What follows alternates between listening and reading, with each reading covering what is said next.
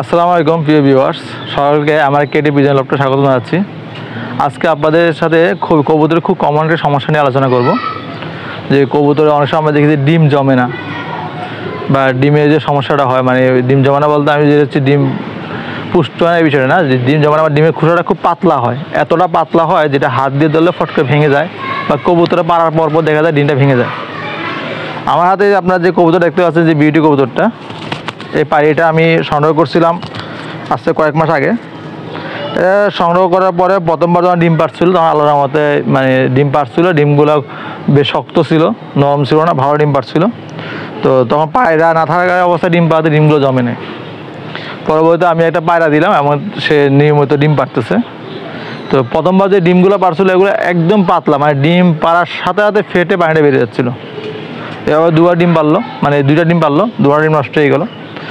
এর পরবর্তীতে সে যখন আবার ডিম পারল, তখন দেখা গেলো যে আগের তুলনায় এখনকার ইয়াগুলা মানে ডিমগুলো একটু শক্ত হচ্ছে।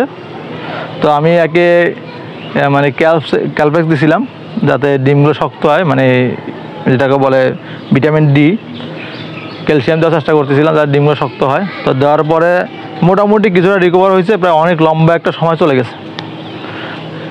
তারপরে মনে করেন এর জিঙ্ক কেয়ারতে শুরু করে মোটামুটি যা যা দেওয়া সব দিলাম। গ্রিট খাওয়ার কথা অনেকে বলল যে গ্রিট খাওয়ালে খুব ভালো উপকার পাওয়া যায় এবং কবুতরের ডিম শক্ত হয়ে যায়, সমস্যা হয় না। তো গিট দাম যে কবুতরের গিট খুব কম খায় মানে সামান্য সামান্য গিট খায়। তো আমি অনেক চেষ্টা করার পরে মানে ইয়ে করার পরে একটা উপায় বের করলাম যে ডিমগুলো কেউ শক্ত করা যায়।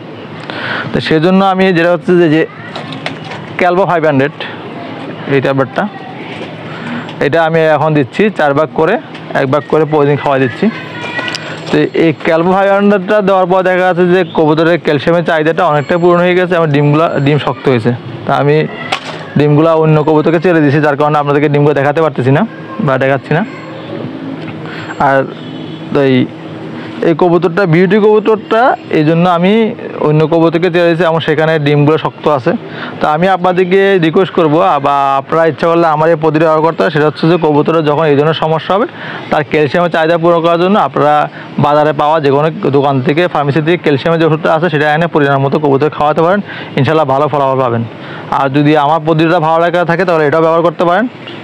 আসলে কবুতর যে একটা প্রাণী, এটা মনে করেন যে এই প্রাণীটা সবাই সবার কবুতরের সব ট্রিটমেন্টে সবসময় প্রপারলি হবে, তা বলা খুবই কঠিন। অনেক সময় দেখা যায় যে একই ট্রিটমেন্টে কোনো কবুতর সুস্থ হয়ে যায়, ভালো হয়ে যায়, আবার একই ট্রিটমেন্টে কোনো কবুতর সুস্থ হয় না। তা আপনারা যদি আমার ভিডিওটা ভালো লাগে থাকে, অবশ্যই লাইক অ্যান্ড সাবস্ক্রাইব করবেন। সবাইকে ধন্যবাদ। ফিয়ামান